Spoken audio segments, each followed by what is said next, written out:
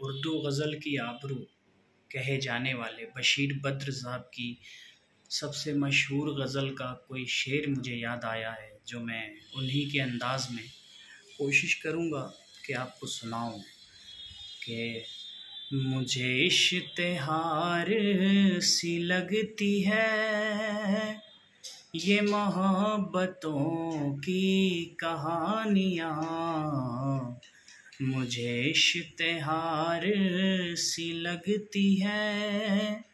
ये मोहब्बतों की कहानियाँ, जो कहा नहीं वो सुना करो, जो सुना नहीं वो कहा करो।